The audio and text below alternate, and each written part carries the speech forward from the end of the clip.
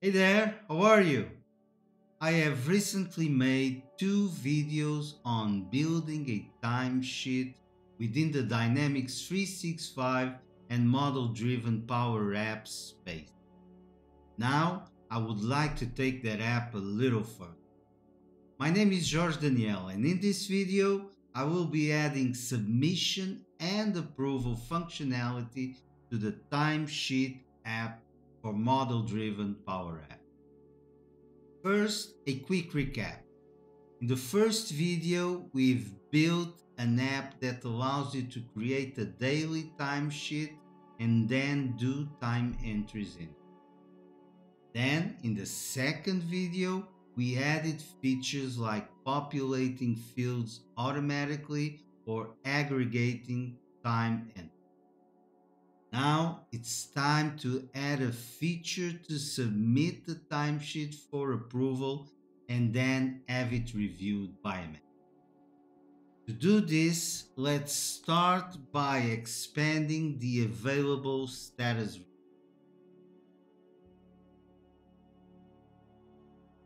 In our timesheet table, let's look for status reason and add a few more status. I really like to use status reason because it's a standard column and also because it allows you to control the transitions between status. For the timesheet, we will need a draft status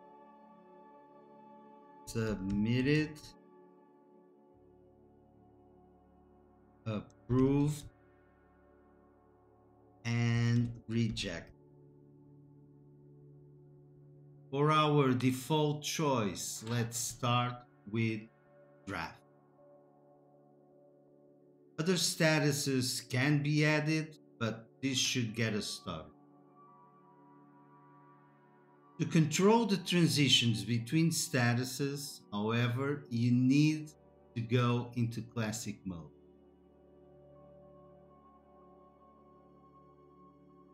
Give this a moment to save.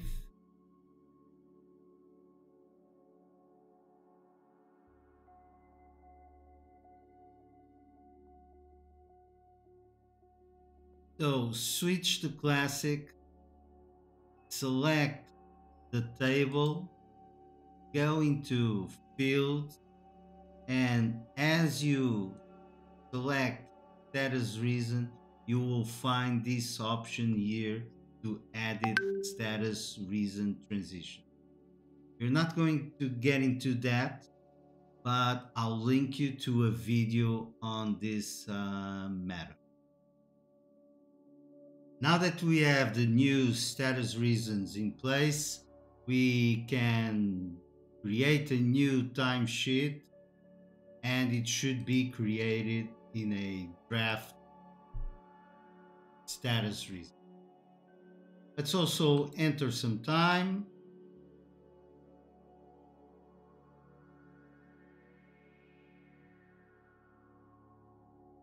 Let's put in the whole eight hours and save. Now, to submit, approve, or reject, we can leverage modern commanding and add a few buttons. Let's add a button. Let's first get into the editing mode.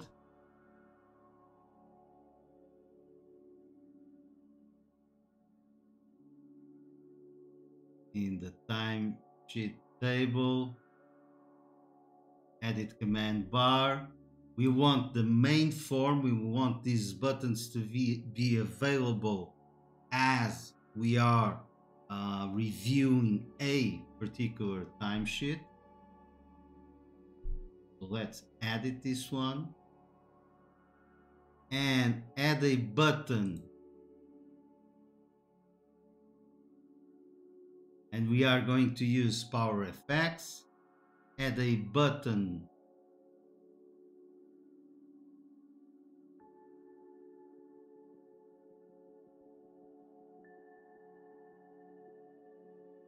is now creating a new component library, so it might take a bit. Let's just be patient.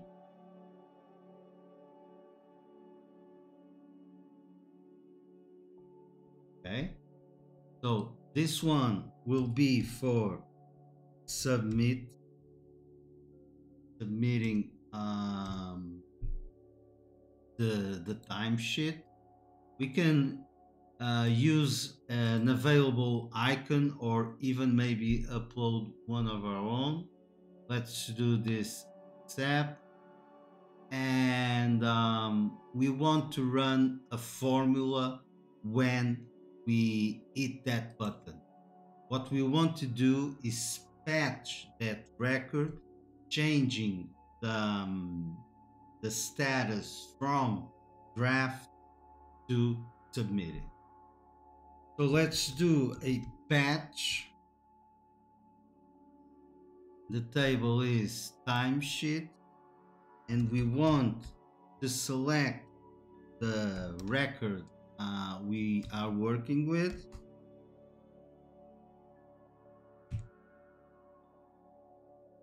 And what we want to patch is status reason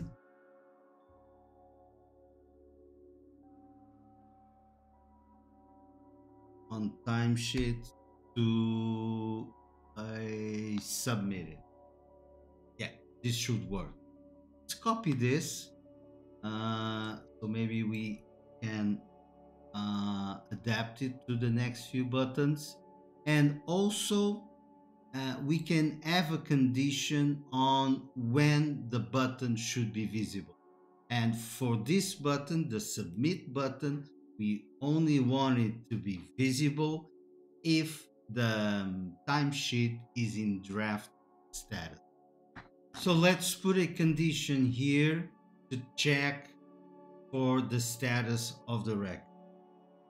So self dot selected dot item dot status reason equals status there reason dot draft. And this should be okay. Let's now also add buttons for both approve and reject. So let's go with new command um, approve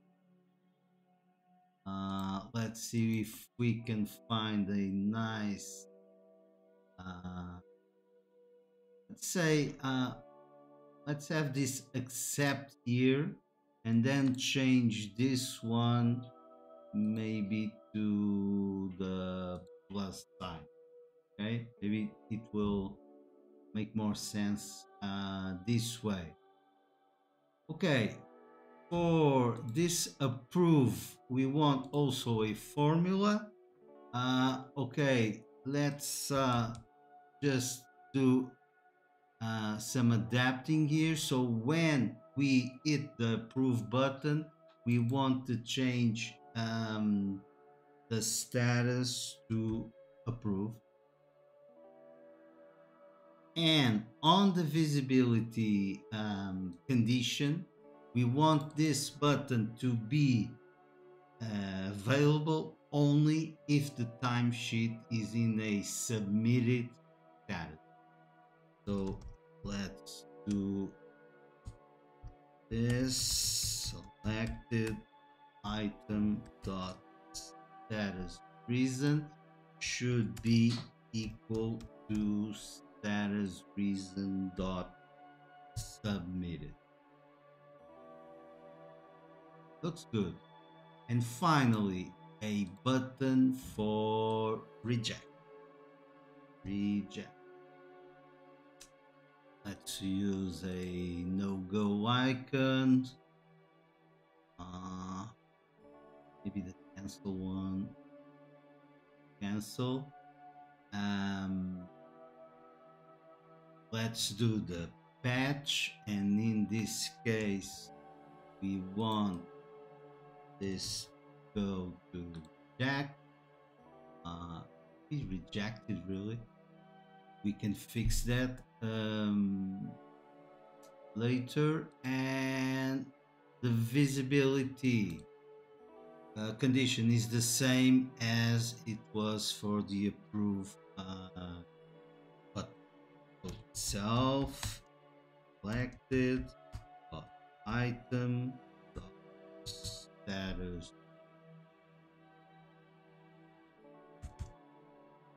status reason equal to status reason dot. Not status status reason. Reason dot submit and I think we're okay so let's save and publish this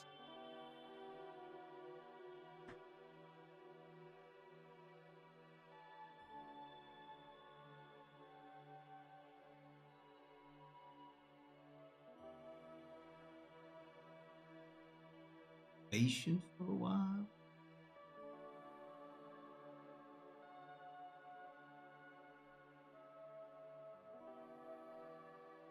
Okay, back and uh, maybe publish here also.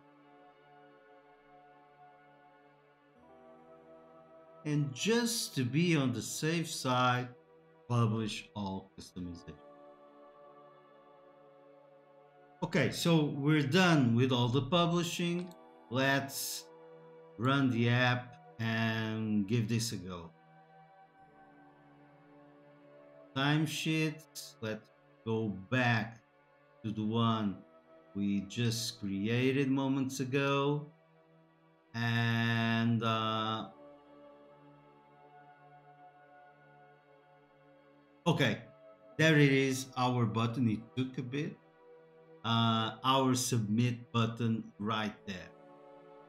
Let's click it and the status is now submitted. And as you can see, both approve and reject buttons are also there. Here I am using a developer environment and I am the only user, but in a real world scenarios, managers would be the ones reviewing timesheets and then approving or rejecting um, the same timesheet. In this case, I can either reject or approve. Let's approve this one and the timesheet is approved. And there you have it. You can now submit and either approve or reject timesheet. Where do you think we should take this one next? Any suggestions? I would love to hear about. Please don't forget to like, comment, and subscribe. And I really hope to see you soon.